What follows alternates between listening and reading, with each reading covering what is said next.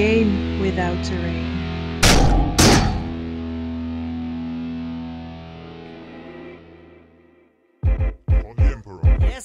Ihr habt lange genug gewartet, aber jetzt sind wir da. 40k Kings of the Hill, jetzt gibt's die Bars. Machen Airbrush an und dann Base die Figur. Pack die Würfel in den Sack und dann straight auf die Tour. Fahr nach Berlin, Berlin, München oder Hamburg. Spedica, TTM, egal welcher Standort. Hauptsache zocken, je härter, desto besser. Battle Rap Tactics, jede Woche fresh. Ja, dann sage ich natürlich an dieser Stelle einen wunderschönen guten Tag. Willkommen alle 40k-Athleten, die uns hier gerne zuhören. Hier ist wieder euer Lieblingspharao von den Kings of the Hill Ramses. Und ich bin hier heute gemeinsam am Start mit einem guten Kumpel des Channels, dem äh, Jesse. Moin, Jesse. Moin, moin zusammen. Ja, wir haben uns hier spontan zusammengefunden, weil wir mal, ja, wir sind natürlich alle heiß auf die neue Edition. Was geht ab, wenn überhaupt was abgeht? Und haben uns überlegt, okay, wo können wir hier ein bisschen Content äh, für euch ausarbeiten? Und wir haben einen guten Anlass dafür, denn der Dominik Pittsburgh, den vielleicht auch einige von euch können, als auch ich, waren letztes Jahr auf einem Invitation, äh, letztes Jahr, letztes Wochenende, am 1. und 2. August jeweils auf einem Invitational der Amsterdam Battle Brothers. Wem diese Leute nicht geläufig sind, das ist unter anderem unter der Führung des lieben Nino Co. Und zwar, der hat, glaube ich, in Bremen den Best General gemacht beim ähm, wie ist das Turnier noch gleich? Beim Hanseatic Alliance, äh, wenn ich mich nicht recht, äh, wenn ich mich recht entsinne. Ja, und da haben sie 14 Leute eingeladen jeweils, ähm, die aus ihren engeren Kreisen da kommen, wollten da ein relativ gutes Niveau auch haben, was uns natürlich gefreut hat, weil da waren noch einige ETC-Spieler dabei aus dem Holland- und Belgien-Teams. Und da haben sie jeweils ein Eintagesturnier mit drei Spielen am Samstag und am Sonntag veranstaltet. Ging ganz normal, ging um 9 Uhr los, gegen drei Runden, auch A drei Stunden. Und ja, haben halt am ersten Tag die Mission 1 bis 3 gespielt und am zweiten Tag die Mission 4 bis 6. Und so hatte man auch die Chance, zwei verschiedene Listen mitzubringen und zu testen. Das war ganz cool. Und ja, ich äh, würde jetzt einfach, also was ich im Nachhinein oder was ich noch, oder vielleicht fange ich damit jetzt an, ich blende euch auch dann gleich oder im Nachgang nochmal ähm, Bilder dazu ein, wie das Gelände aussah. Die hatten halt auf jedem Tisch das gleiche Gelände. Das war eine Art MDF-Form. Jetzt nicht das von Alliance Open, ich weiß gar nicht von welchem Hersteller, aber ähm, ja, und das haben sie, das war aber gut spielbar. Da waren zwei Ls in der Mitte und äh, auch genug Ruinen, um, um halt zumindest kleinere Einheiten auch verstecken zu können. Und dieses Gelände wurde aber war fix und wurde für jede Mission auch neu angeordnet, weil man ja auch verschiedene Aufstellungstypen hat. Und so war das dann doch ganz interessant, ähm, ja, da verschiedene Konzepte zu spielen. Hat es denn der TO gemacht oder mussten es die Spieler machen? Gab es irgendwie eine Vorlage? Das ist ja auch so eine Frage, die jetzt äh, viele TOs haben im Moment, äh, wie wir das mit dem Gelände machen, weil die Aufstellungszonen natürlich schon deutlich unterschiedlich sind, auch wenn sie zum Teil einfacher sind, aber wir haben deutlich mehr. Ähm, ja, genau, wie haben, wie haben die das denn da geregelt? Also es haben tatsächlich die TO gemacht. Also man konnte auch sich im Vorfeld wurden da viele Dateien geteilt, wo das auch drauf stand. Dann konnte man das quasi auch selber machen. Aber da es ja eine überschaubare Anzahl an Spielern war, hat, hat man die dann an den Tisch gerufen und dann haben das der Frank und der Dino haben das dann klar gemacht. Genau. Okay. Ja. Dann muss man sich, denke ich mir, auch mal was für größere Turniere dann ausdenken, wie man das am besten macht. Weil, wie, wie viele Leute wart ihr jetzt da? Nur 14 Leute. Ja, gut, mit sieben Tischen geht das, ne? Aber ja, das ging genau. Und man muss sagen, am ersten Tag war das halt super easy, weil halt äh, Dino und Frank selbst nicht gespielt haben. Mhm. Am zweiten Tag hatten wir zwei Dropouts, das heißt, da waren wir nur zwölf Leute. Und dann haben die, sind die eingesprungen. Und dadurch war das doch dann ein bisschen anders, weil dann sind sie natürlich nicht ganz so verfügbar. Aber auch das hat man dann hinbekommen. Ja, alles klar. Gut, dann äh, die Frage, äh, mit was bist du denn aufgelaufen? Ja, Dominik und ich haben uns äh, im Vorfeld so ein bisschen so abgesprochen, weil wir, wir spielen ja zum Beispiel auch beide Sisters ähm, und so und aber wollten nicht, also wollten, dass jeder immer eine andere Armee spielt. Und wir haben auch so gedacht, okay, am ersten Tag kommen wir mit, unserer, mit unserem A-Team quasi. da habe ich gespielt, Ultramarines hab ich, hatte ich mir ausgedacht, habe ich mir stark vorgestellt. Und zwar die Liste blenden wir jetzt auch gleich hier ein. Und ähm, ja, es war im Grunde genommen ein Battalion und natürlich das Super Command Detachment. In dem Battalion hatte ich den Captain der Mortal Wounds mit dem Vengeance of Ultra Relic macht. Das war so die Idee. Einfach ein günstiger Charakter mit Tech Marine, der halt das Seal of Oath trägt, um eine Einheit vom Gegner quasi eliminieren zu können. Mhm. Ja, und dann wollte ich so ein bisschen Board Presence haben und, äh, und schnell auf die Marker gehen können. Und dafür habe ich zweimal Sniper Scouts genommen und einmal normale Scouts. Und okay. dazu noch zwei Invictors. Invictor Warsuits, einen Relic Whirlwind, nee, zwei Relic Whirlwind Scorpius. Ja, Klassik. Genau, das ist aber auch so eine Frage. Das war da jetzt noch so. Ich glaube, die rutschen bei Zeiten in Heavy Support. Kann das sein? Ja, das wird ja gemunkelt. Also in der App sind die ja drin, aber die App ist halt, sagen wir mal, nicht die beste und mhm. extrem buggy. Also das ist dann da die Frage, was rauskommt. Da müssen wir nicht Forge World Releases abwarten. Ah, okay. Äh, aber eine Frage noch, äh, wie hast du deine Invictor ausgerüstet? Die habe ich mit den Autokanonen genommen. Okay. Mhm. Weil, ähm, ja, ich, ich finde das Profil insgesamt besser und die, die, die haben ja nicht mehr diesen Malus mit ähm, ja, Bewegung um minus 1 zu Hit. Deswegen finde ich das Profil dann ganz gut. Äh, wird sich auch nochmal herausstellen im Laufe des, dieser Konversation, warum das auch vielleicht ganz gut war in manchen Spielen. Dann äh, im, im, Heavy Support hatte ich noch einen Eliminator Squad genommen. Da war ich so am, am überlegen, ob ich den nehme oder ob ich einen Devastor Squad noch im Nachhinein nehme. Ich habe mich für die Eliminators entschieden, weil die halt sechs Lebenspunkte haben und man die halt gut in Deckung stellen kann und die auch dann auf einen Marker schnell gehen können. Mhm. Die haben mir dann den Relic Leviathan frei, äh, freigeschaltet mit der Doppelknifte. Wird er dann doch noch eingepackt, auch wenn er teurer mhm. geworden ist. Ja, also äh, der auf jeden Fall. Und dann halt äh, wird das abgerundet von dem Commander himself, Rubute Gilliman. Ne? Ja, der, der Big Daddy ist mit am Start. Genau, der Big Daddy war auf jeden Fall am Start. Okay. Das war so die Liste. Vielleicht äh, generelles Konzept so dazu, warum, ähm, warum diese Liste. Ich hatte mir halt wirklich so gedacht, ähm, verschiedene Push- und Pull-Elemente drin zu haben. Also auf der einen Seite quasi Elemente, die direkt nach vorne gehen für den Fall, dass ich anfange und die den Gegner beschäftigen.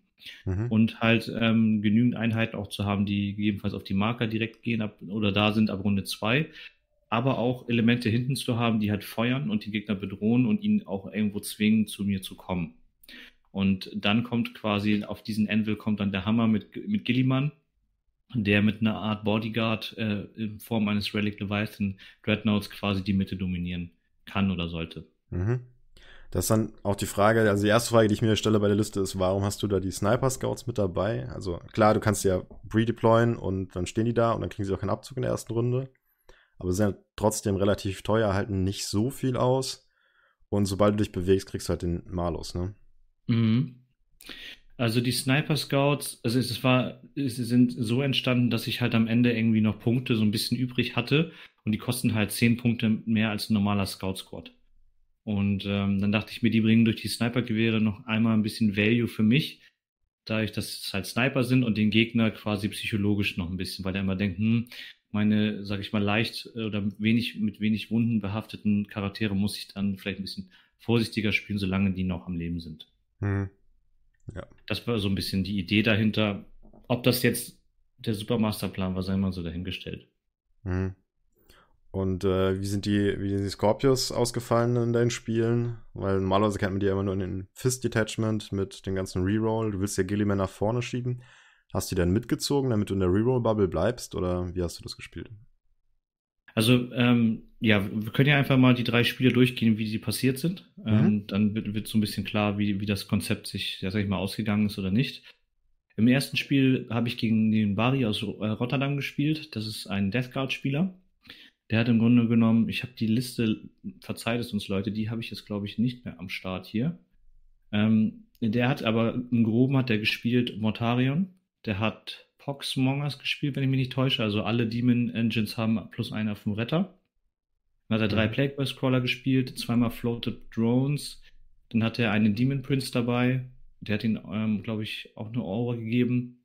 Dann hat er 105 Punkte freigelassen für den Epidemus. Dann, um den zu beschwören. Dann hat er einen Sorcerer, einen Warpsmith, und die waren halt in, mit, zusammen mit anderen fünf, äh, Chaos Space Marines waren die im Alpha Legion Detachment, um halt diese Stratagems freizustellen. Oder zu, ne? Mhm. Das war, glaube ich, so im Grunde genommen so sein Konzept. Okay. Und ja, wie, wie das dann war, wir haben, glaube ich, das war, die erste Mission müsste sein, ich glaube, es ist Retrieval Mission, ich glaube, das ist dann Hammerschlag quasi, 18 Zoll Aufstellung, relativ tief für die neue Größe. ja, haben wir aufgestellt. Und ich habe es halt im, im, Grunde genommen so gestellt, dass der, er hat echt Mortarien nach vorne gestellt. Das hätte ich an seiner Stelle nicht gemacht. Weil er, er hatte jetzt Warp Time nicht drin, aber hat das durch diese Stratagem halt sich reingeholt. Und ja, hat aber Mortarien vorne Press on gestellt um, damit er in jedem Fall in meine Zone kommen sollte, er anfangen. Und ich habe halt den Levi Press angestellt, Gilliman in 6 Zoll entfernt und zwei Invictors noch davor. Und das habe ich so, das habe ich gemach, weil halt die ähm, Ultramarines haben ja dieses geile Redeploy Stratagem, das kannst du ja einmal oder mehrmals benutzen, aber ich wollte halt nicht mehr als zwei CP ausgeben, dass ich halt die drei, wenn ich nicht anfangen sollte, umstellen kann. Und dann waren halt die äh, Scorpius in der Ecke hinter einer Ruine und die Scouts äh, und auch der Captain etc. waren auf den Flanken verteilt, sodass sie auf die anderen Objectives gehen konnten. Hm. Hast du dann reingebaitet quasi? Ja, so ein bisschen genau.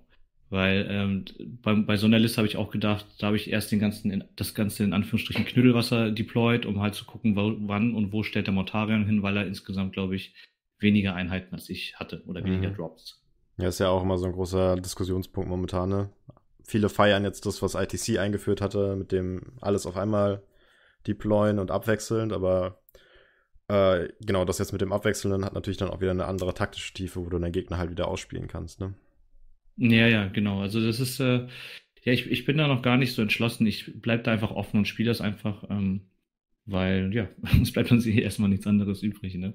Ja, also was meine Erfahrung halt, wo ich dann deinen Gegenspieler oder Mitspieler äh, nachvollziehen kann, was ich halt auch gemacht habe. Ähm, du kannst natürlich jetzt einen Morty aus Sicherheitsgründen irgendwie für die 3CP äh, in, in die Reserve packen, aber dann geht dann natürlich eine deiner Key-Units und fast ein Viertel deiner Armee einfach eine Runde lang quasi ins Nirvana und nirgendwo hin. Und je nachdem, wie gut du dann auch noch upscreenen kannst, kannst du in der nächsten Runde auch nur schlecht platzieren und dann kommt er auch wieder nicht in Nahkampf und kann relativ wenig machen. Da mhm. kann ich da schon das nachvollziehen, dass du dir halt ähm, irgendwie schon aufstellen willst, auch wenn du nicht weißt, dass du anfängst.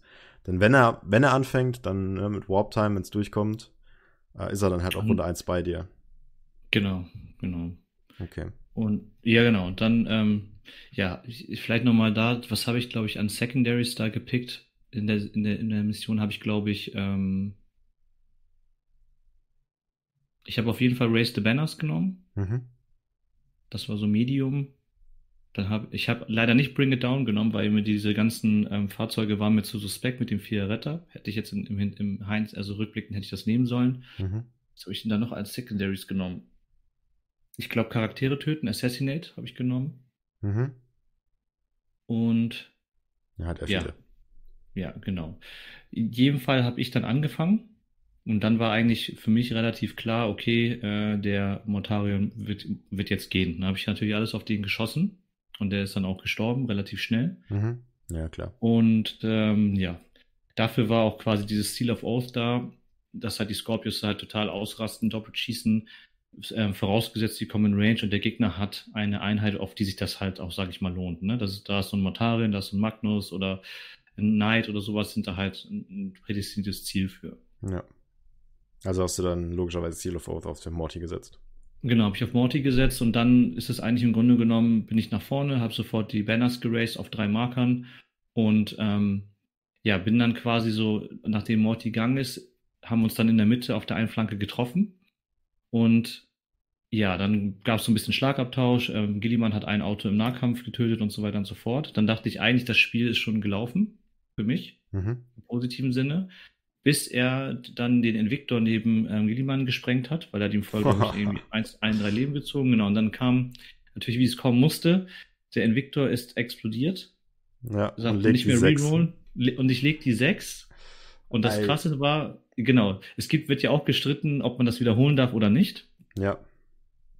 Ähm, ich bin jetzt mehr auf der Linie, man darf sogar auch den Damage-Wurf nicht mehr wiederholen. Ja, bin ich bei dir. Aber da wurde es geruled, ich durfte es wiederholen, leg aber noch eine 6. So, und dann, ja, okay. Feels bad. Dann war Gilliman tot und dann ist er auch nicht wiedergekommen auf die 4 Plus, das war schade. Mhm. Weil ich dachte, okay, auf der Seite waren dann irgendwie so, er hat sich halt ziemlich in der Mitte dann geknubbelt und dachte ich, okay, da hat er irgendwie zwei Plague Press Caller gehabt. Auch wenn die vier Retter haben, Gilliman macht die halt in ein, zwei Runden schon tot. Naja, und dann dadurch wurde es dann doch nochmal wieder ein Spiel, weil dann sind seine Drohnen, ist er mit den Drohnen nach vorne gegangen ähm, hat dann da quasi so ein bisschen Kontrolle gehabt. Die waren halt extrem, ich habe dann halt mit meinen ganzen Kanonen immer auf seine Sachen geschossen. War natürlich nur halbwegs spaßig, weil es immer vier Retter ist. Ich verwunde immer auf die fünf nur. Ich habe halt meinen quasi meinen Chapter Master Lieutenant Gilliman nicht mehr dabei. Das war dann schon sehr nervig.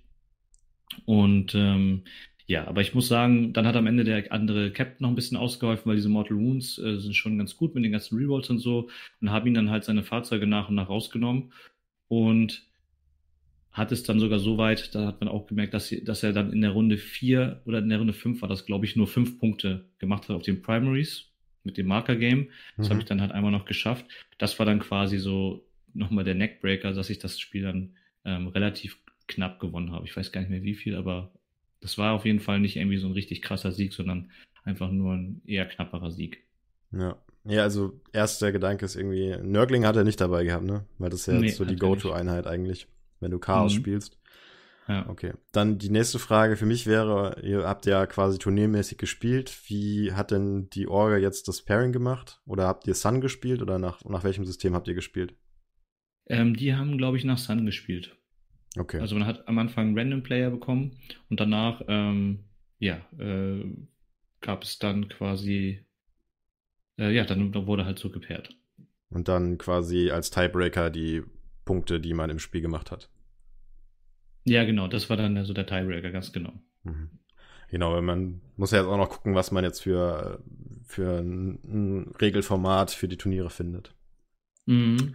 Okay, äh, dein Resümee dann für das Spiel, was für eine Einheit hat dich dann direkt als erstes überzeugt? Das war jetzt auch dein erstes richtiges Turnierspiel so in der neuen. Also ganz kurz, ja, ja. ganz kurz. Äh, ich bin mir nicht sicher, ob sie Sun gespielt haben oder ob es Punkte waren. Okay. Also es kann doch sein, dass sie nach Punkten gegangen sind, wer wie viele Punkte gemacht hat und dann gegeneinander spielt. Aber äh, ich glaube, das ist an dieser Stelle nicht so wichtig, aber eins von beiden wird es gewesen sein. Sorry, jetzt zurück zu deiner Frage. Also genau. Ähm, ja, was war denn jetzt so dein erstes Resümee nach deinem ersten Turnierspiel quasi in der neunten Edition mit der Liste? Was, was sagst du? Sieht, war, war gut? Wo, wo, was hat schlecht performt? War es deinen Erwartungen entsprechend? Ja, also mein erstes Resümee war natürlich geil. Ich habe angefangen ja, okay. Dann habe ich aber auch rückblickend gedacht, deswegen habe ich aber auch Ultramarines gewählt, weil man jetzt ja auch oft damit rechnen muss, dass man nicht anfängt. Und mit, mit Ultramarines kannst du dann wirklich sagen, okay, weißt du was, ich gebe nicht nur das Stratagem einmal aus, sondern zweimal und dann redeploy ich jetzt sechs Einheiten. Ja. Und ähm, da habe ich dann auch gedacht, okay, wenn er halt, wenn er halt anfängt, dann redeploy ich so, dass Morty selbst mit einem Charge oder einem 12er Charge würde ich ihm vielleicht geben oder so, dass er an nirgendwo rankommt. Mhm. Und dann ist es halt eigentlich im Grunde genommen das Gleiche, zum Teil sogar fast noch besser, weil er, er muss Morty dann nach vorne schicken, dann wird Morty rasiert und dann kann ich auf den Rest von seinem Movement rea reagieren. Ja. Das geht aber auch nur in diesem Szenario mit der Death Guard, weil die selber jetzt nicht so krass schießt und weil er auch nicht so viele Einheiten hat, sag ich mal. Ja, weil sie halt auch super langsam ist. Ja, genau. Dann mein zweites Fazit war nach dem ersten Spiel schon, Scouts sind halt super squishy, also die sind halt einfach sehr, sehr schnell tot. Mhm. Die haben halt, selbst wenn sie eine Dreierrüstung haben, da macht minus eins schon einen großen Unterschied. Und ja, die würde ich wahrscheinlich so nicht nochmal spielen. Würdest du sie dann auch äh, über den Rubicon schicken? Ja, das auf jeden Fall. Würde ich, und ich würde überlegen, und, und ich habe mich schon gefragt, brauche ich zwei Scorpiusse? Das habe ich mich auch gefragt. Okay. Ja, es ist einmal die Frage, ne? Also einer, wenn du auch gegen gegnerische Artillerie spielst, der kann dann doch schon relativ schnell mal rausgenommen werden, dann bist du ihn halt sofort los, ne? Mm, das stimmt. Okay. Also interessant. Äh, du hast jetzt auch nur ein Detachment gespielt, also beziehungsweise zweite, wo Gilliman reinkommt, und das kostet dich ja keine CP. Genau. Und äh, Gilliman gibt ja selbst nochmal, das heißt, man startet direkt mit 15 CP, das ist schon knusprig, ja, ne? Ja, das ist echt knusprig. Ja, dann ist ja auch relativ egal, dass du zweimal redeployen musst oder so. Genau, das ist halt so, genau, das ist auch nochmal so ein Faktor. Okay. Äh, wie in, in dem ersten Spiel jetzt hat sich die Chapter-Taktik von den Ultramarines ausgezahlt, weil das munkelt man ja auch so, ne? Dass Zurückfallen und Schießen ganz sinnvoll ist. Also wäre schon geil, aber es hat, kam gar nicht zum, zum Tragen, so, ne? Weil, okay. ähm, ja, wie gesagt, der eine Victor war relativ schnell tot. Da würde ich halt sagen, da könnte sich das mal lohnen. Bei einem Gilliman vielleicht, der war aber auch leider relativ schnell tot. Ähm, ja, aber ansonsten, nö, das ist. Also da in dem Spiel war es nicht relevant, aber ich ist generell aber trotzdem im Hinterkopf und man weiß, okay, ich bin hier in Anführungsstrichen ununtouchable, so, ne? Ja. Okay, dann würde ich sagen, gehen wir zum zweiten Spiel. Gegen Mhm. was durftest du dann ran? Dann durfte ich äh, gegen meine alte Liebe, also Iron Hands, ran. Der hatte im Grunde genommen Doppel-Levi. Mhm. Lass mich kurz überlegen. Hatte der Iron Hands das Hauptchapter? Ich glaube ja. Ich glaube, der hatte keinen Successor. Also ich glaube, der hatte Iron Hands das Hauptchapter Chapter mit Doppel-Levi. Der hat dann halt den einen Super-Levi draus gemacht mit zwei Water Trades, mit 5er für No Pain und 6 Explodieren. Schon garstig. Und dann hatte der halt ein paar Intercessors, aber nicht diese Intercessors mit äh, 5er für No Pain und so, sondern der hatte halt, glaube ich, einen Chapter Master dabei, einen Lieutenant ähm, und den Master of the Forge, Tag Marine, glaube ich. Und dann Okay. hatte der drei, dreimal ähm, die Thunderfire Cannon für Arme, das Rapier. okay. Und genau, weil die kostet ja in Anführungsstrichen nur 95 Punkte, im, im Gegensatz zu den ähm, 190 oder so für die Thunderfire Cannon. Ja. Und dann hatte der halt Intercessor-Trupps, ich glaube, fünf, vier, drei bis zwischen drei und fünf, irgendwie so. Das finde ich auf jeden Fall interessant, äh, Rapier Carrier zu sehen, gerade wenn es nicht Fists sind. Genau. Ähm, weil die machen, glaube ich, nur einen Schaden. Und die treffen halt schlechter, ne? ja. Aber Dafür ja. hat er jetzt natürlich den Master of the Forge dann dabei, aber das ist auch ein harter Text. Genau, und dann hatte der drei, ähm, ja, das stimme ich dir zu. Und dann hatte der drei Invictor noch, das fällt mir noch ein. Ja. Das äh, macht natürlich sehr viel Druck, ne? Also wenn du die drei Invictor vor die Nase deployed bekommst und dann dazu noch die zwei Levis nach vorne stampfen. Dann, Genau, also äh, jetzt, jetzt kommt das Konzept nochmal komplett. Er hatte einen Captain mit Ironstone, Lieutenant, dreimal Intercessors mit den, ähm, welche Waffen hat er denen gegeben? Bolt Rifle, also die normalen, drei Invictors, dann äh, Rapier, weil der schaltet den Relic äh, Leviathan frei. Und nochmal ein Rapier für noch ein äh, Relic Leviathan. Also nee, nee, hat er noch, ein- noch ein Detachment eingekauft, so war das. Wenn ich das, noch ein Sparehead hat er eingekauft, da war der Tech Mhm. Marine drin, mit Doppel Rapier und nochmal Relic Leviathan. So ist es jetzt. Und genau, da, und so kann er halt in jede, für jede Runde minus eins Schaden auf den, auf beide Levis machen. Das war so seine Idee. Okay. Ja. Ja, macht Sinn. Gut, da haben wir dann Dawn of War gespielt, Deployment. Ich habe versucht, mich so Mhm. gut wie es geht zu verstecken. Ich habe dummerweise eine Ecke vom. Er hat angefangen, da kam dann die Rache. Er hat angefangen. Mhm. Und ich habe eine Ecke vom Scorpius leider äh, freigelassen.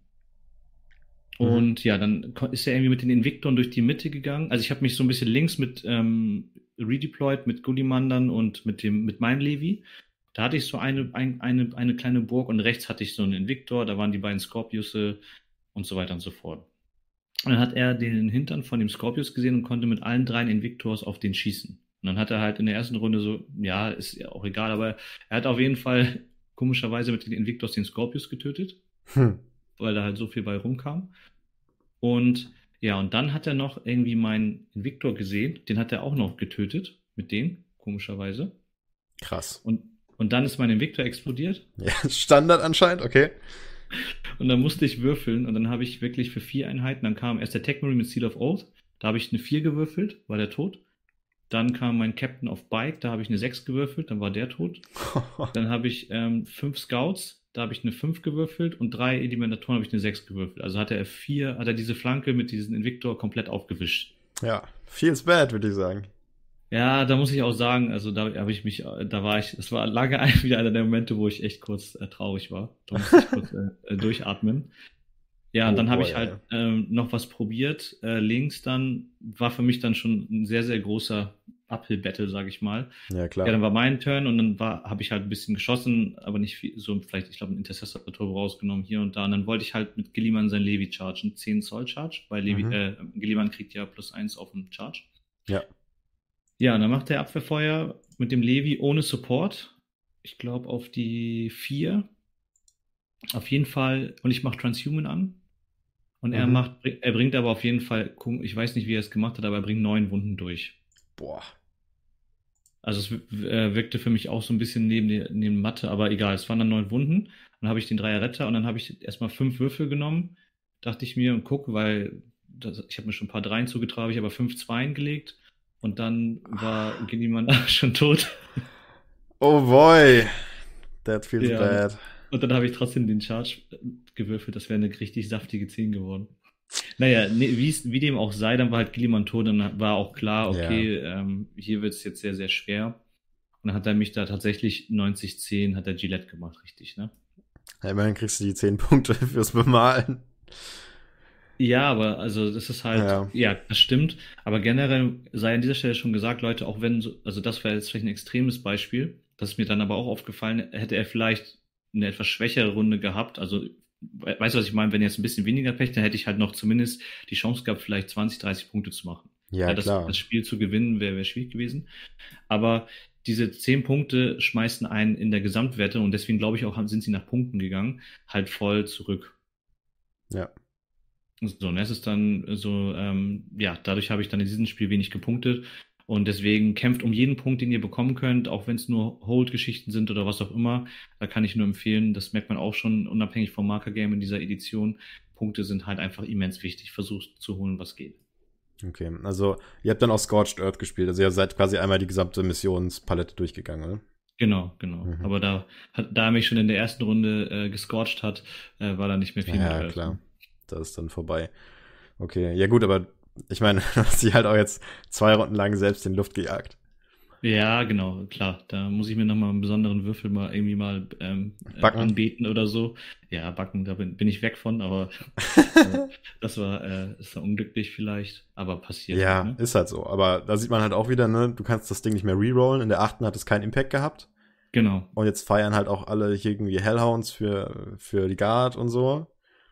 Oder auch die größeren Tanks einfach bei den Marines, ne? Sei es jetzt der Invictor oder sei es halt auch ein Repulsor, die gehen halt alle für W6 Mortals in die Luft.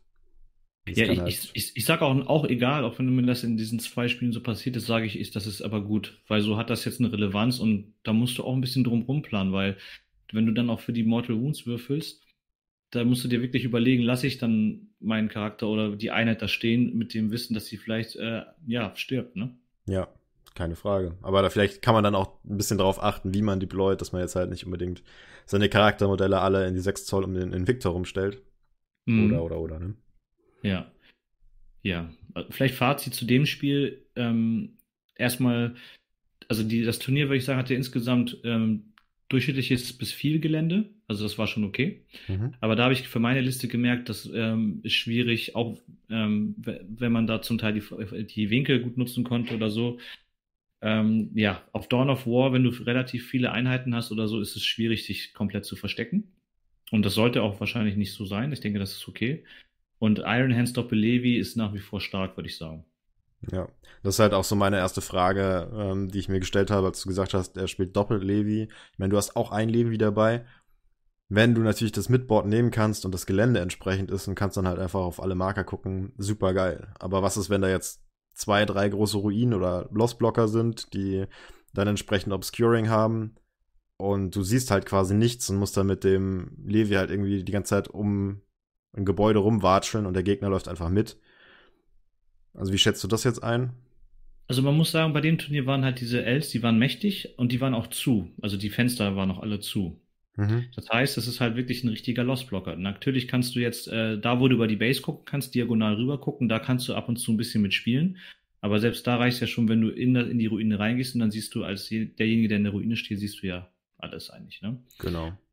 Und dadurch, mit, bei der Liste, das ist schon, also ich fand die Liste gut von ihm, ne? Weil, ähm, ob ich jetzt Bock habe, die zu spielen, das sei dahingestellt, weil ich jetzt so lange auch in viel Iron Hands gespielt habe, muss ich ähm, gestehen. Aber ähm, der hat halt diese beiden Levis, die sind ja schon mal per se schon schwer zu knacken. Ja, die haben vier Retter, die haben sechser Pain, der eine hat einen fünfer Pain mhm. und beide reduzieren Schaden um eins. Also musst du unheimlich viel aufwenden, um die zu äh, knacken. Ja. Und die sind halt bei Dawn of War nochmal extra stark, weil die halt, das hat er auch so gemacht, er hat die auf beide, auf be beide Flanken eingestellt und ist dann in seinem ersten Turn einfach mit denen advanced. Auch wenn die dann noch nicht schießen konnten, weil ich habe ihn halt ausgeranged, ne? Und so war aber schon an den Lost Block, also an diesen Els schon vorbei. Das heißt, ich konnte sie, die Els für mich schon nicht mehr nutzen. Hat er gut gemacht. Und in der Mitte waren die drei Invictor sind da durchgewatscht. Mhm. Und dann stehst du halt als Gegner vor der Herausforderung, ja, kann ich jetzt wirklich zwei Levis ignorieren? Outrangen ist nicht mehr. Und wenn ich mich jetzt um die Levis kümmere, dann habe ich aber gleich drei Invictor in meinem Gesicht. Ja. Ja, klar. Oder mache ich die, mache ich die Invictor und dann, oh, dann kommen aber noch, äh, weißt du, und dann kriegt, also er hat das, ich fand die Liste schon stark, muss ich sagen. Ne? Yes, dieses Konzept, ne, zu viele relevante Ziele einem ins Gesicht zu werfen und du musst halt damit dealen. Ja. Du kannst dann irgendwann halt nicht mehr. Aber es, ich finde auch allgemein diese Bot-Konzepte, die jetzt immer mehr kommen ähm, bei den Marines, mal abgesehen davon, ey, jetzt haben wir jetzt hauptsächlich über Levis gesprochen, aber es werden jetzt auch viele ähm, Rally Contemptor gespielt, ne, mit, mit Twin Less Cannon und, und einer Melee-Sache, die sind halt Mhm. auch ziemlich böse, ne? Da kannst du halt auch nicht einfach reinlaufen und die abbinden. Ähm, mal abgesehen davon, dass es jetzt äh, früher halt easy going war, aber du jetzt halt da auch mit einem Fahrzeug, ne? Also wenn dann der Rally Contemptor da mit seiner Nahkampfgrade draufhaut, dann kann das halt auch böse nach hinten losgehen. Ja, auf jeden Fall. Man darf jetzt auch nicht vergessen, ne? also wenn es ganz gut läuft, ich habe mir das mal so überlegt, kannst du sogar auch mit so einem Outrider-Squad in so einen Levi reingehen. Ja, Mhm. und wenn du dann Transhuman anmachst und er schießt im Nahkampf mit minus eins, ich weiß nicht, ob er die Statistics dann killt. Hm. Weißt du, was ich meine? Weil die haben doch recht viele Wunden. Du hast noch einen Fünfer Rüster. Und ähm, ja, und er, er trifft erstmal nur auf die Dreien, wenn er keine Rerolls hat und so weiter und so fort. Ne? Ja, also ja. dann kannst du sie so vielleicht eine Runde aufhalten und dann vielleicht eine saftigere Einheit noch im Nahkampf bekommen, die die dann auch umboxt oder so, ne? Ja. Auf jeden Fall interessant. Äh, du hast ja noch ein anderes Konzept dir überlegt, äh, können wir vielleicht später nochmal drüber sprechen. Genau. Okay. Dein äh, Resümee jetzt den zweiten Spiel. Was sagst du da? Beste Einheit, schlechteste Einheit? Boah, das, also das ist für mich schwer zu sagen. Ja, war ja Resümee- relativ schnell vorbei, ne? Genau, aber ich habe ja ein bisschen noch mit dem einen Scorpius da rumgeschossen und so. Das war okay. Also und da hab ich, gut, da habe ich dann auch wieder rumgedacht, okay, wenn ich jetzt anfange, dann schieße ich viermal mit den Scorpiusen. Dann nehme ich mit hoher Wahrscheinlichkeit zwei ähm, Intercessor-Trupps raus. Hm. Vielleicht sogar noch mehr. Oder ich, äh, ich nehme ähm, zwei von seinen, nee, mehr sogar. Ich, kann, ich nehme alle seine drei Rapier raus und vielleicht noch was dazu. Dann hat Ja. er halt nur noch diese Handel, die da so rumlaufen. Die, und wenn die Scorpius überleben, könnte man sich dann auch um die kümmern, weil dann hat, verliert er halt an Kontrolle mit der Liste. Ja. Ähm, ja, das habe ich so gedacht, aber dann dachte ich auch wieder, boah, ist eigentlich blöd, so zu denken, okay, wenn ich angefangen hätte, so, ne? Und ja, deswegen äh, Ja. hab, war mein Fazit einfach, seine Liste war meiner überlegen. Mhm. Okay. Äh, ja, ich würde halt auch sagen, ne, entsprechend seine Liste, wenn du ihm die Marines rausnimmst, dann hat er halt schon Probleme, die Primary zu spielen, weil seine OPSEC-Einheiten sind weg. Und natürlich hat er dann Levis, die da stehen und äh, halt auch vom Marker runterhämmern können. Aber entsprechend muss er die Levis dann halt auf die Marker stellen, sonst hat er halt nicht viel außer die Charaktere, ne? Genau, und wenn dann Gulliman äh, lebt und einmal daran kommt, der kann auch mit einem Levi dealen im Nahkampf. Das, das war eigentlich auch so der Gameplan, aber ja, da kamen so ein paar Ereignisse dazwischen. Das war, ja, das ist halt so passiert. Alles klar, okay. Zweites Spiel nicht so prickelnd gelaufen. Wie ging es denn jetzt weiter ins dritte? Drittes Spiel habe ich gegen Alfonso gespielt, der hat ähm, Astra gespielt. Und zwar Katachan, der hat einmal ein Battalion gespielt und zwar hatte er drei Tank Commander, die kannte ich vorher noch nicht, und zwar die mit der, also die hatten alle den Hunter Killer Missile, glaube ich, den, und den Turret Mounted Demolisher Siege Cannon. Garstiges Teil, irgendwie 24 Zoll, Stärke 10, glaube ich, minus 3 und W6 Schaden. Also ungewöhnliches Profil für Astra und war echt stark. Ja, Dazu hat er gespielt. die äh, machen jetzt auch eins- D6 Schaden, ne? Das wurde Genau, FAQ'd, das- ja. Richtig krass, da dachte ich. Und dann hat er 1, 2, 3, 4, 4, ich glaube vier ähm, äh, Guardsman-Trupps und ein, einmal Science. Mhm. Und dann hatte er dabei einen Platoon Commander, einen Platoon Commander, Sergeant Harker, Armored Sentinels, dreimal Mörser, zweimal Manticore, vier Chimären. Also die Liste fand ich richtig, richtig geil, muss ich sagen, Mhm. von ihm. Für Astra-Spieler so. Ich hatte die extrem viel Potenzial. Ich habe ich hab angefangen, muss man wiederum sagen. Und ähm, ich habe halt auch wieder so deployed. Ich habe halt diese zwei Invictor weit vorne, Press On, dass er halt, ähm, dass er alle seine Chimären genommen hat, um zu screenen, damit Mhm. sie nicht sein, seine Zone bedrohen. Und ja, und ich hatte natürlich extrem viel Respekt vor den beiden Manticore mit jeweils, die beide die Full Payload haben, über Tank Ace und dann drei Flat Damage machen, beziehungsweise mit der Hunter Killer Missile sechs Flat Damage. Ja. Ja, und dadurch, dass ich, ja, dass ich an, halt angefangen habe, haben tatsächlich die, ähm, ich habe den einen Manticore äh, Seal of Oath, den hat er dann aber ganz weit in die Ecke getan. Mhm.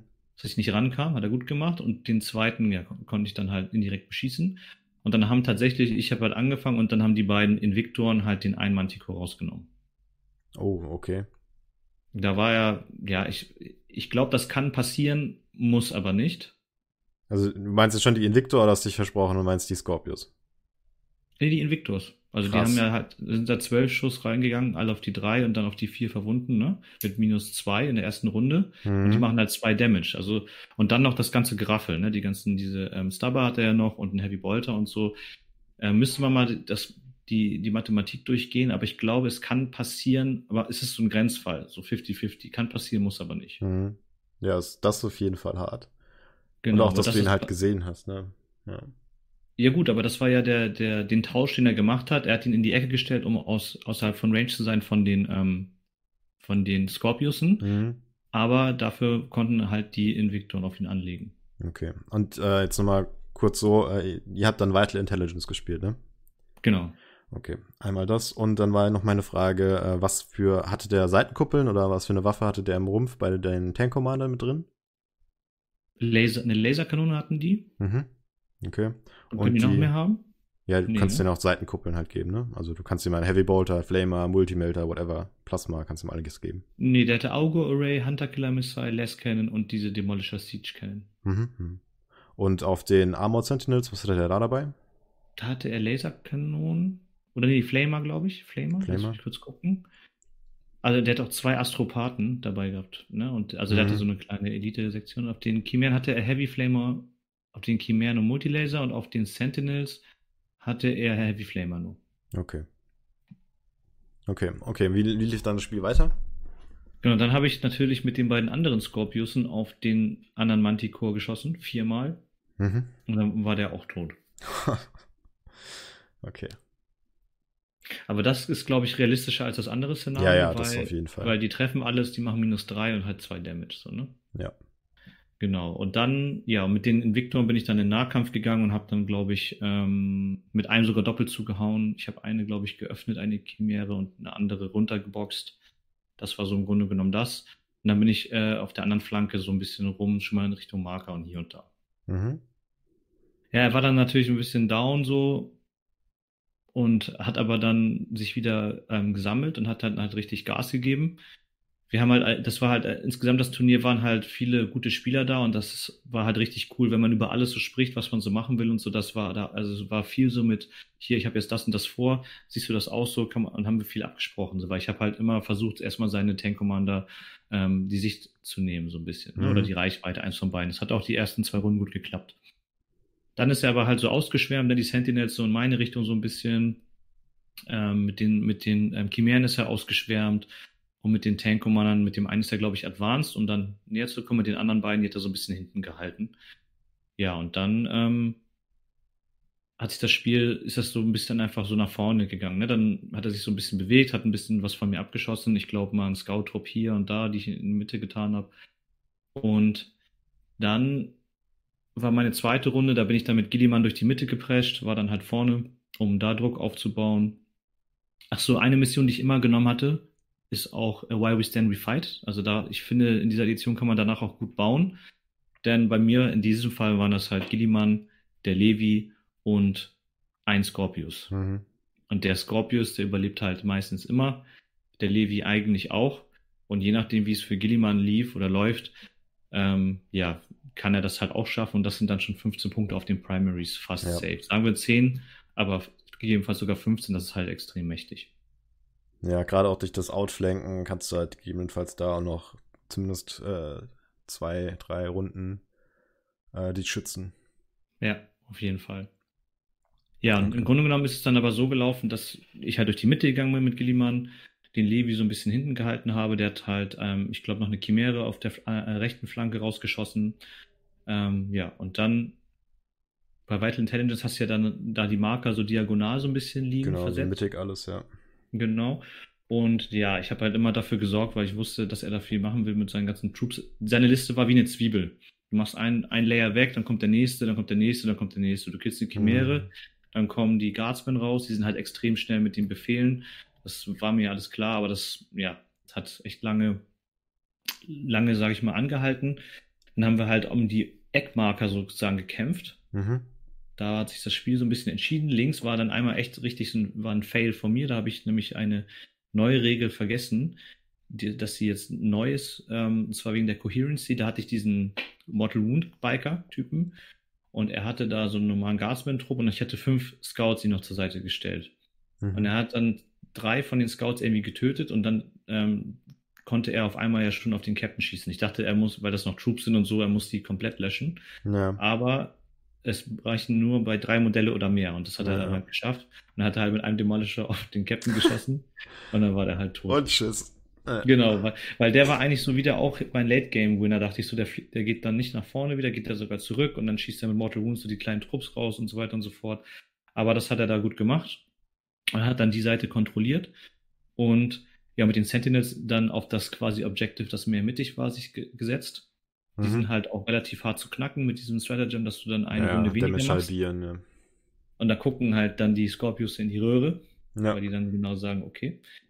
Ja, und dann hat sich das so ein bisschen gekabbelt, dann hat er auch Gilliman getötet und war halt mit einem Squad noch hier an meinem, äh, rechts oben an dem Marker, wo auch der Levi noch war, mit einem weiteren Eliminatorentrupp und so. Und dachte, er hat ihn safe, dann hat er Gilliman getötet, dann habe ich aber nochmal äh, Fight in Death und habe mit Gilliman nochmal eine volle Ladung abgeschossen. Damit hat er nicht gerechnet und damit habe ich nochmal sechs Guardsmen irgendwie rausgenommen und hatte ich mehr am Marker. Und ja, so ist das Spiel am Ende des Tages auch ausgegangen. Ich habe äh, das Spiel richtig knapp nur gewonnen mit 75 zu 70 oder so. Oder 71, irgendwie so eine krumme Zahl war das. Okay. Krass. Und das Fazit da bleibt, ist auch da wiederum, was ist, wenn ich nicht angefangen hätte. Also da hätte ich, glaube ich, alt ausgesehen, muss ich sagen, weil dann ähm, legen die Manticoren los, die nehmen direkt einen Scorpius raus, denke ich. Ja. Und also das war das erste Fazit. Das zweite Fazit ist, Scorpius ohne Support sind nicht so gut. Wenn Ja. sie keine Rewards haben und natürlich auf äh, höher widerstandsfähige Targets schießen müssen und so und diese dann auch nur 3w3 Schuss machen.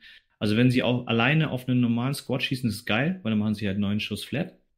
Mhm. Aber sobald es nur äh, fünf sind oder weniger, dann ist wiederum, dann kannst du halt auch drei Einzellinge, schießt du nur dreimal, musst noch treffen auf die drei, weißt du, Wunden auf die zwei, kannst noch eine Eins legen, dann verlieren die extrem an Effizienz. Ja. Ja, vor allem jetzt auch gegen Astra ist jetzt halt eher so mehr, ne? Aber die sind halt schon mit Stärke 6 und minus 2 und 2 Flat Schaden. Machen die Mhm. halt schon Spaß gegen gerade Primaris Marines und so. Ja, auf jeden Fall. Genau, Okay. und äh, ich würde einfach an dieser Stelle echt sagen, also an alle Astra-Spieler da draußen, ähm, auch, auch wenn jetzt vom Power-Level vielleicht, ja, äh, Astra erstmal nicht unter den Top 3 ist, für die Mission, wie es jetzt in der aktuellen Erneuten ist und was ich so gesehen habe und so, ähm, haben die echt äh, alle Möglichkeiten. Hm. Ja, auf jeden Fall. Ich bin jetzt auch mal gespannt. Ich bin ja am Wochenende auch auf dem Turnier mit Astra, wie es Mhm. da so läuft. Ich habe jetzt mehrere Spiele reinbekommen. habe einmal von Imperial Fists ziemlich auf den Sack bekommen, aber das ist auch die harte Anti-Liste zu meiner, weil ich auch viele Chimären spiele. Mhm. Und da habe ich einmal jetzt noch vom guten Major mit seinen Orks auf, auf die Fresse gekriegt. Wobei Ja. der mit seinen Scrapjets auch einfach quasi in Runde 1 alle meine Chimären aufmachen kann, wenn er das möchte.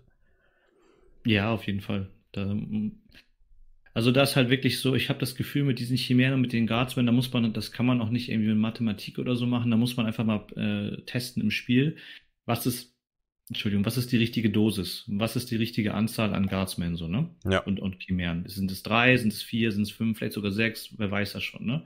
Aber da muss man halt mal gucken, weil ja, das Spiel ist schneller und man muss halt gucken, wie kann man bis Runde vier quasi, Anfang Runde vier, das beste Ergebnis erzielen auf den Primaries. Hm. Es ist halt auch dann noch die Frage, es gibt noch kein richtiges Meta. Was sind jetzt die Gatekeeper? Ich denke, Knights werden auch weiterhin die Gatekeeper sein, erstmal, wie es Anfang der letzten Edition auch war. Ähm, wir werden wahrscheinlich die großen Dämonen sehen als Gatekeeper. Also irgendwie das alles muss man ja mit einplanen, dass man Mhm. irgendwie damit dealen kann. Die andere Frage, die ich jetzt noch habe, ähm, weißt du oder hast du gesehen, wie es bei den anderen Tischen so ablief, was für Listen da sonst noch dabei waren? Äh, was hat äh, Dom beispielsweise gespielt oder gegen wen hat er gespielt? Habt ihr euch wahrscheinlich auch unterhalten? Kannst du das vielleicht kurz zusammenfassen? Oh ja, ich hätte, ich ärgere mich jetzt echt, dass ich das, dass ich das Pairing nicht äh, mehr habe, ne? Alles. Hm. Ähm, also Dominik ist ja mit Admech gekommen am ersten Tag. Mhm. Und ähm, was hat er eingepackt? Lass uns mal gucken. Er hat auf jeden Fall Mars gespielt mit äh, Belsarius Call. Dann hat er einen Tech Priest Manipulus gespielt. der halt mit den ganzen Waller-Trades äh, Trades etc. Dann hat er, ist er auf den Breachern stehen geblieben. Mhm. Ähm, zweimal fünf mit Arc Claw und Heavy Arc Rifle. Zwei oder vier, zwei, sehe ich das richtig? Ich glaube, zwei Skittery oder Ranger Trupps. Dann Fulgurite Electro Priests. Sind das die mit den, genau, mit den Stäben? Ja.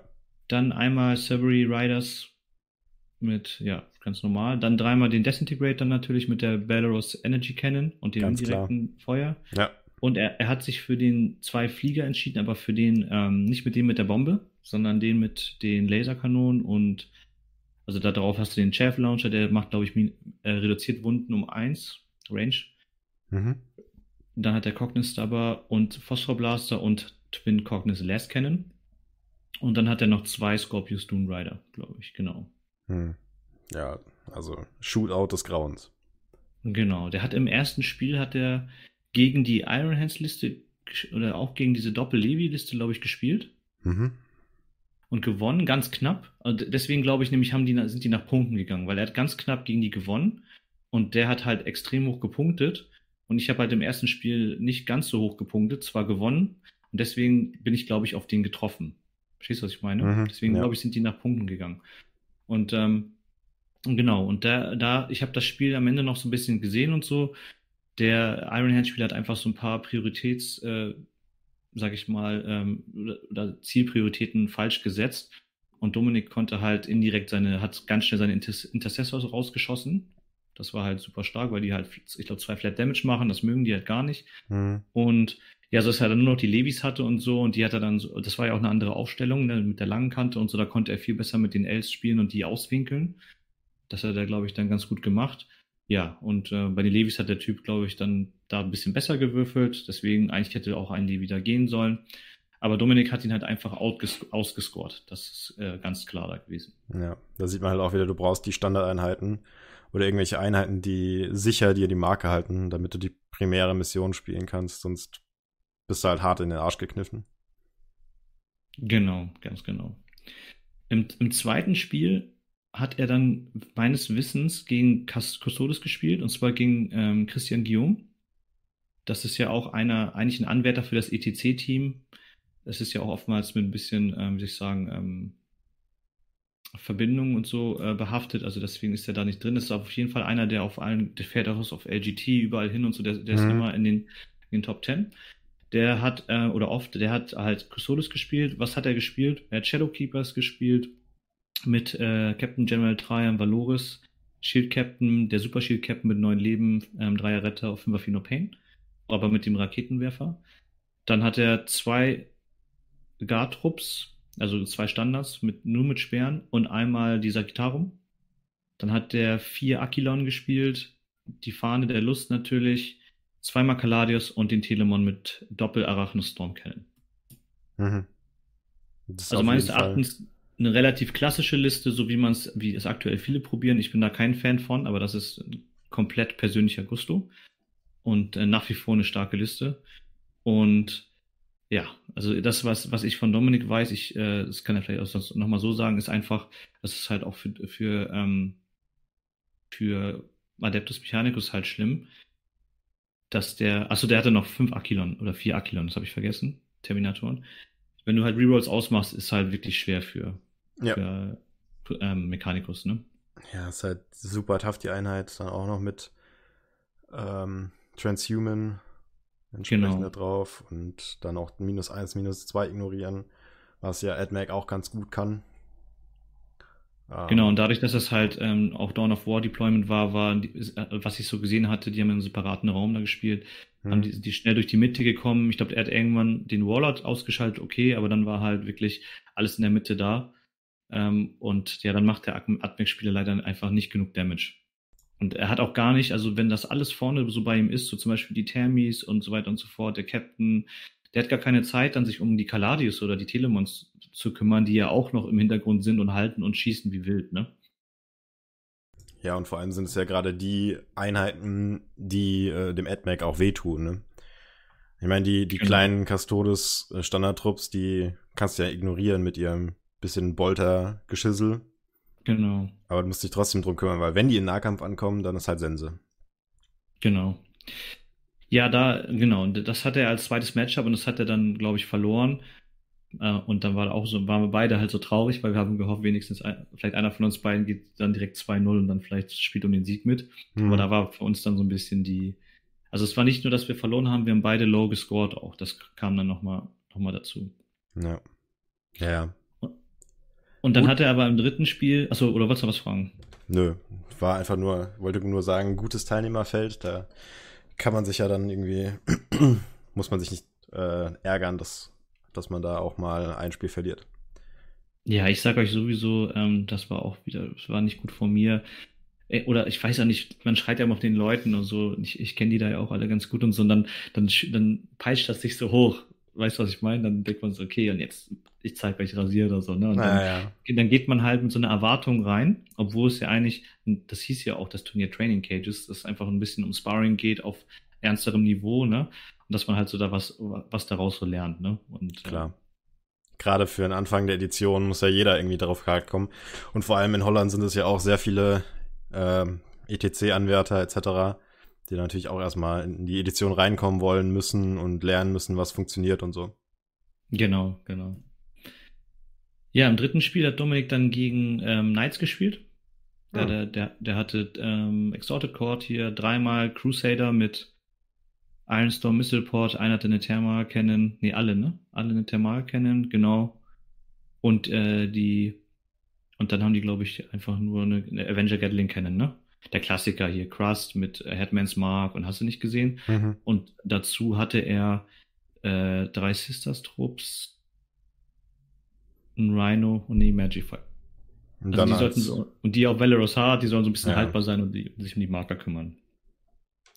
Ich glaube, Dominik hat nicht mal angefangen, aber gegen so eine Liste ist das halt in Anführungsstrichen egal weil er versteckt die Breacher, die kommen raus und dann nimmt er, also er nimmt halt safe äh, jede Runde ein Knight runter. Ja. Manchmal da freuen, sogar mehr. Da freuen sich die Breacher drüber, ne? Zur Not kann man die auch noch outflanken lassen, falls du die nicht versteckt bekommst und dann ja, genau. den Knight, den sie angucken, der, der geht.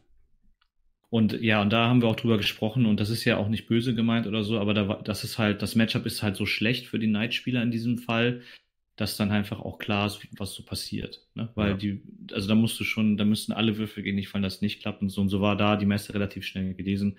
War aber gut für ihn, weil so hatte er dann ein bisschen weniger Rückenschmerzen. ja. Okay. So, was würdest du jetzt über den ersten Tag als Resümee ziehen für die neunte Edition oder für deine Spiele, für die, die Listen, die du sonst so gesehen hast? Was, was sind für dich Essentials, die dabei sein müssen? Oder auf was kann man verzichten? Vielleicht, was meinst du dazu, wenn ich noch mal ein paar Listen, die ich hier noch habe, solange ich sie noch habe, interessant finde, dass wir die noch mal kurz durchgehen Klar, und dann darauf zurückgehen? Weil ich denke mal, das ist auch für die Zuhörer interessant, einfach zu gucken, was, was, das war jetzt, wir zeigen das hier auch mal dann an und so, was keucht und fleucht da draußen rum. Weil ich sehe jetzt hier gerade noch die Liste vom Rüd, das ist ja der Captain vom ähm, ETC-Team in, in Amsterdam. Der ist meiner Meinung nach mit einer relativ achten Editionsliste angetanzt, und zwar mit den Harley Queen. Da hat der Shadows hier, Troopmaster, der halt so extrem viel Schaden machen kann. Noch ein Troopmaster. Hat er insgesamt eins, zwei, drei, drei, vier Troops, wovon mhm. nur einer, nee, zwei können in, in, in Star Weavers rein, weil der erste ist äh, sechs, nee, ja, wie viele? Doch, sechs Player und der andere fünf Player und die anderen und zwei mit zehn Playern. Mhm und nur einer ist mit Fusion Pistols. Ne, zwei, die beiden kleinen mit Fusion Pistols. Und okay. genau. Dann hat er halt Skyweaver dabei gehabt. Zweimal mit Haywire und so weiter und so fort. Und drei Starweaver, um zu transportieren.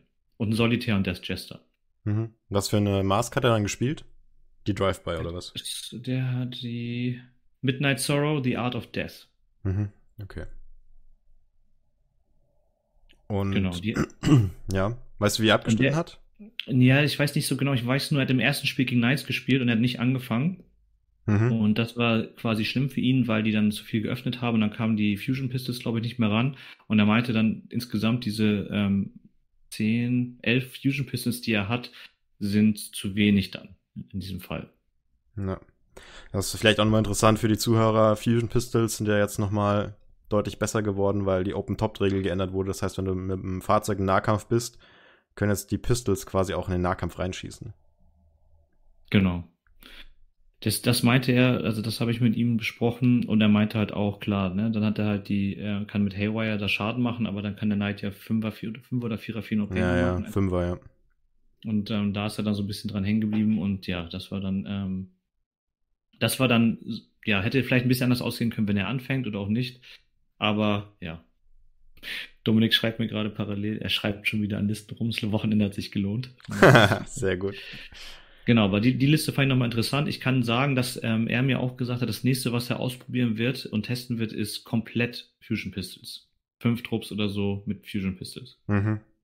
Ja, das ist so die Richtung. Ziemlich teuer. Die krass. Dann vielleicht nochmal interessant zu sehen, die Turniersiegerliste. Und zwar ja, genau. ist das der gute Ruben. Das ist ja einer auch, der eigentlich ETC spielen könnte und so, aber der hat irgendwie nicht so Bock drauf. Der ist in allen Gruppen da immer drin und hier und da, aber der hat immer sich keinen Bock, da alles zu geben. Hm. Und der spielt immer am liebsten Orks und ähm, der Orks äh, Specialist Mobs Pyromaniacs habe ich die Mayonnaise auch schon weitergegeben. Der konnte auch eine Nacht nicht schlafen, weil der konnte es nicht glauben. Ähm, der hat einen Warboss gespielt. Und zwar mit Combi Rocket Power Claw Warlord Brutal But Cunning. Mhm. Der Biggest Boss, der, der Killer Claw, aber zu Fuß. Dann hat er 10 Grotz, ähm, ein, äh, fünf Kommandos, zwei Burner Bomber und dann kommt ein Outrider, da hat er die Death Skull genommen, der Klassiker. Ein Big Mac mit Custom Force Field, der zu Fuß geht. Nochmals äh, zwei Kommandos. Dann den Mega Truck Scrapjet. Das ist, glaube ich, dieses Flugzeugding, ne? Das Auto, das mit den Raketen. Genau. Und ein, ein Shock Jump Dragster.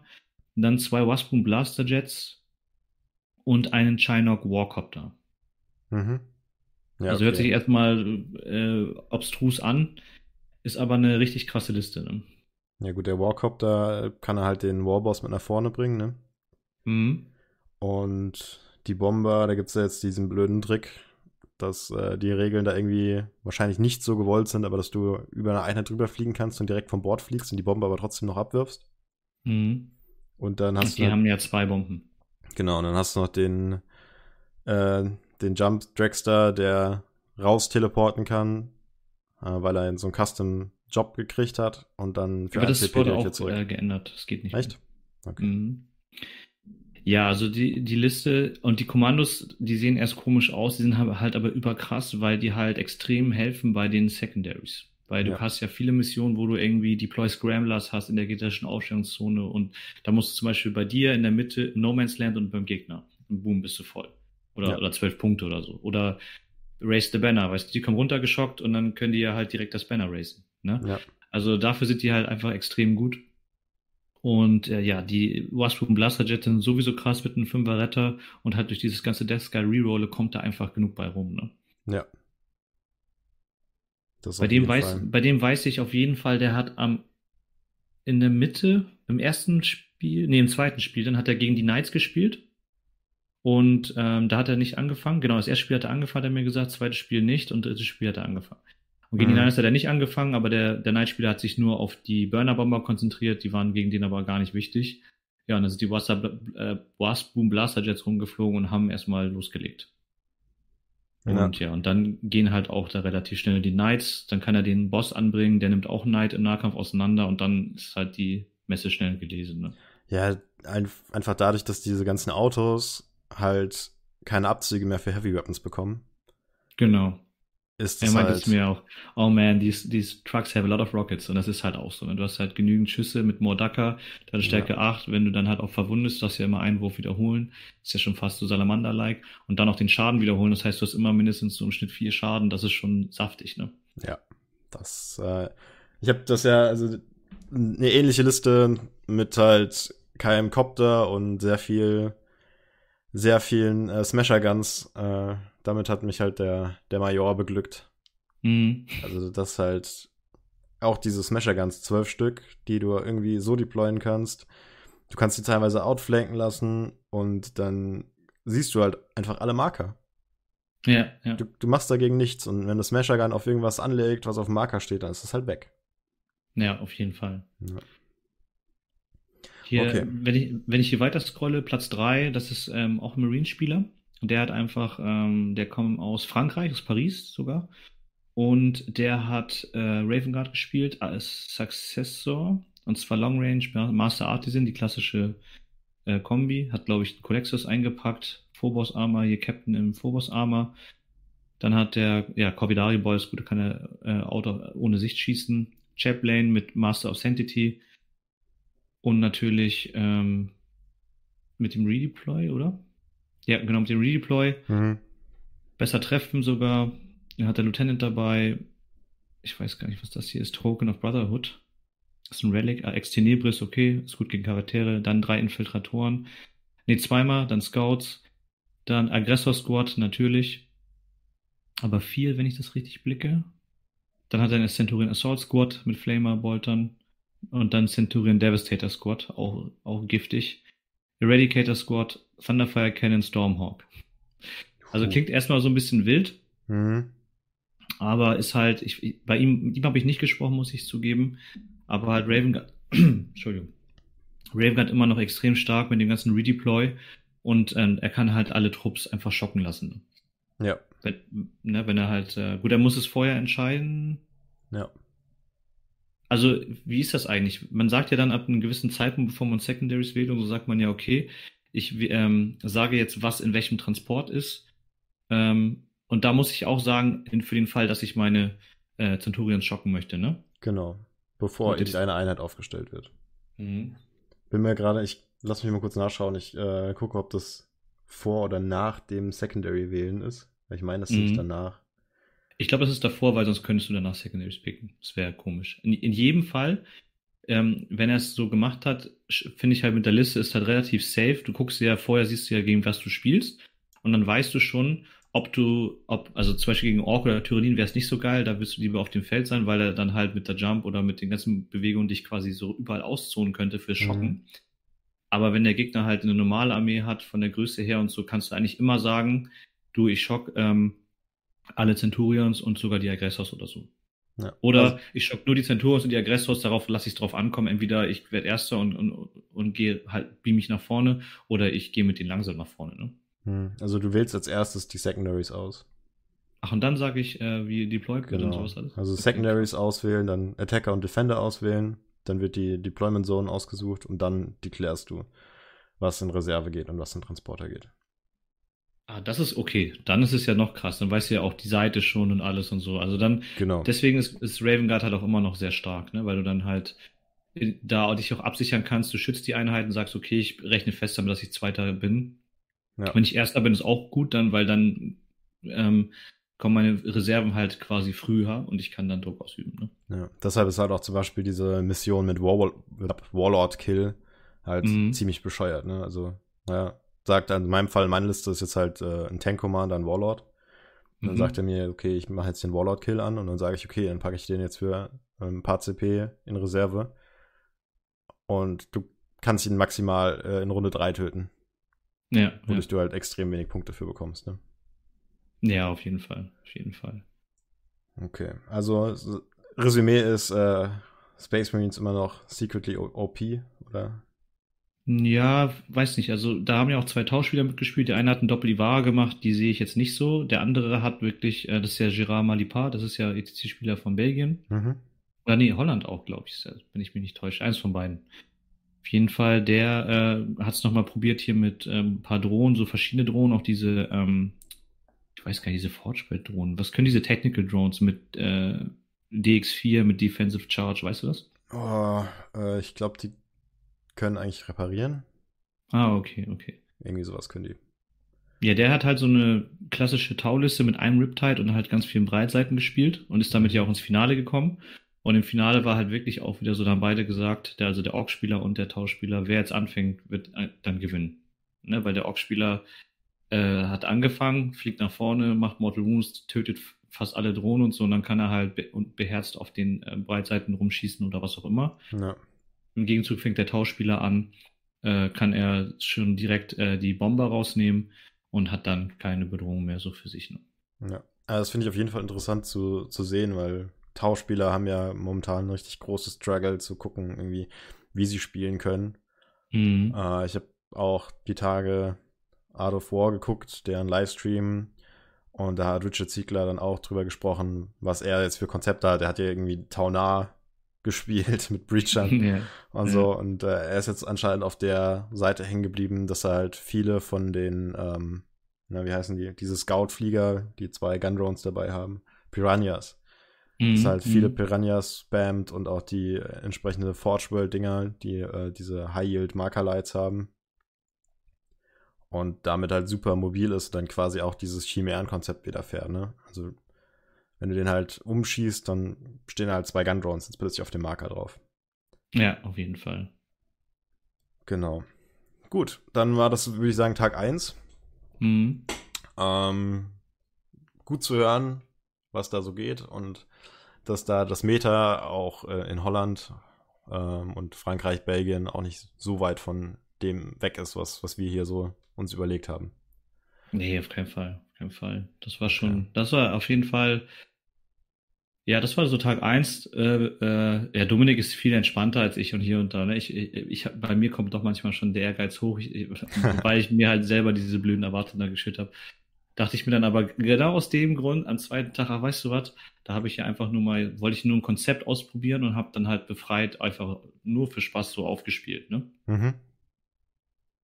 Und ähm, ja, willst du den zweiten Tag gehen oder was meinst du, macht jetzt am meisten Sinn? Ich würde sagen, wir sind bei über einer Stunde, dass wir hier so einen Cut machen und dann machen wir einfach einen Ja. zweiten für den zweiten Tag, oder? Ja, okay. Dann machen wir einen Cut.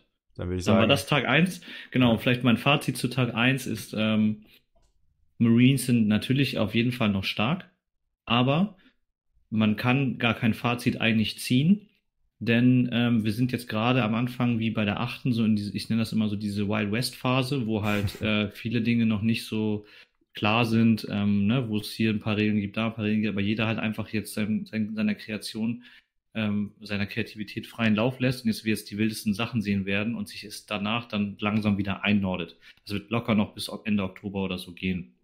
Ja. Wenn du jetzt Und- vom Wild West sprichst, äh, was, was ist jetzt deiner Meinung nach the good, the bad and the ugly? Hm.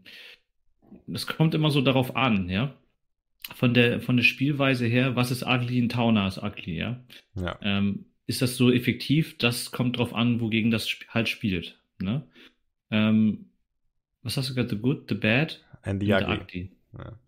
Alter, das ist ein Klassiker, ein Film, den musst du wohl kennen. Ach So, ja, weiß ich, ich weiß nicht, nee, die kann ich ich traurigerweise. Ja, Deswegen, ähm, ist, also ich, ich könnte das jetzt noch gar nicht so sagen. Ich würde auf Okay. jeden Fall sagen, ähm, Marines sind auf jeden Fall immer noch stabil. Die sind, die sind auf jeden Fall noch solide. Ähm, Mhm. Atmec, da fällt auch ein Atmec rein. Custodes ist gerade so ein bisschen so der kleine Hype. Wobei ich da jetzt an dieser Stelle schon sagen kann oder möchte, Spoiler. äh, es ist nicht so leicht, Custodes zu spielen. Ja. Ne? Also das ist jetzt, äh, man kann jetzt viele Listen nehmen, was auch immer. Die sind halt stark vom Setup, die haben gute Stratagems, die haben gute Einheiten, aber man muss sich auch ganz genau überlegen, wann kann ich wo wie rein und so. Das, aber da, da kommen wir noch zu. Mhm. Ähm, die sind ja jetzt bei denen am Tag 1 Zweiter geworden. Ja, und Necron hat einer teilgenommen, aber der ist halt so, ähm, ja, der, das war, glaube ich, nicht, nicht das, das krasseste, was geht. Death Guard haben wir, ja- haben wir ja da schon gesehen, ein, ein, eine Liste super, super stark. Also wirklich super stark. Ja, das ist so das, was ich jetzt da gesehen habe und was man sagen kann, okay, äh, da, in die Richtung kann es gehen, so, ne? Alles klar. Was äh, kannst du vielleicht auch einmal als letzten zusammenfassenden Satz sagen, äh, was so die Eindrücke der anderen Spieler ist, mit denen du gesprochen hast, was äh, jetzt auf jeden Fall Fokus sein sollte, worauf die Listen aufgebaut sein müssen? Also das, was ich, was ich selber, was mir, wo, wozu ich mich selber zwinge und was, worüber ich auch mit den anderen gesprochen habe, ist echt, wenn ihr könnt, versucht fast eigentlich so eure Gedanken und euer Wissen über die 8. Edition zu löschen, wenn es irgendwie geht. Mhm. Geht ins Battle Scribe und löscht alle eure Listen. Und dann schaut mal rein in die Mission, also macht mal vielleicht ein, zwei, drei Testspiele meinetwegen noch mit den Listen, die ihr habt und so. Aber dann guckt mal, wie ihr gescored habt, wie ihr gespielt habt und hier und alles da. Überlegt mal darüber und dann löscht alles und dann baut nochmal neu. Ja. Das wäre so mein Fazit, weil die Edition so, wie sie sich, ich habe jetzt ja drei, sechs Spiele da jetzt in zwei Tagen gemacht. die hat, die haben mich auf jeden Fall jetzt, also vorher war ich so ein bisschen noch so im, im Luftraum, wir haben ja hier auch viel gespart und, und so, aber das hat mich jetzt so richtig in die Edition reingedrückt. Und jetzt bin ich auch heiß und jetzt habe ich auch richtig Bock und jetzt verstehe ich auch so langsam, ähm, wie der Hase so läuft, sage ich mal. Ne? Ja. Ja, da kommen so crazy Sachen wie diese 1000 Nörglinge-Liste wieder mhm. bei rum. Das kennen wir alles schon aus der achten, ne? Also früher waren es Brimstones, jetzt sind es Nörglinge. Ja, klar. Und wer weiß, was, was ja da noch alles auch für Anpassungen kommen und so. Aber klar, jetzt äh, wenn du tausend neue Neulinge hast, dann hau raus, ne? Und äh, wenn dir das auch Spaß macht, das ist ja noch das nächste. wir spielen hier kompetitiv, hier geht's nicht um Spaß. okay, an der Stelle würde ich sagen, danke fürs Zuhören. Ja. Äh, schaltet auch beim zweiten Teil ein, also wird's mich auch wieder interessant. Genau, wir, wir sagen auf jeden Fall auch nochmal, machen nochmal einen kleinen Disclaimer hier. Äh, wenn ihr, wenn euch gefällt, äh, was wir machen generell, wir haben auch immer, äh, holen wir uns noch in Zukunft noch mehr Gäste da rein, äh, wie auch Freunde hier wie den Jesse oder so. Supportet uns gerne als Patreon auf www.patreon.com slash Kings of the Hill. Für einen kleinen Obolus seid ihr mit im inneren Zirkel. Wir ähm, geben euch das weiter, was wir wissen oder supporten euch, wo wir können. Das gleiche könnt ihr aber auch auf YouTube machen. Ähm, als, da könnt ihr Mitglied oder Join beim Kanal werden. Ist das gleiche. Und ähm, ja, wir, wir, freuen uns, wenn euch unser Content weiterhilft und äh, ja, ihr Mehrwert aus unseren Sachen. Also daher, vielen Dank fürs Zuhören. Bis zum nächsten Mal. Die Runden wie ein Longboard und landen auf den ersten Plätzen wie eine Concord. Und gibt es ein Problem, nur weil ihr keinen Bock habt, zögern wir nicht lange und wir von dies not Soccer. Okay, jetzt können wir nicht anfangen zu spielen. Ich komme mal kurz hier, ja?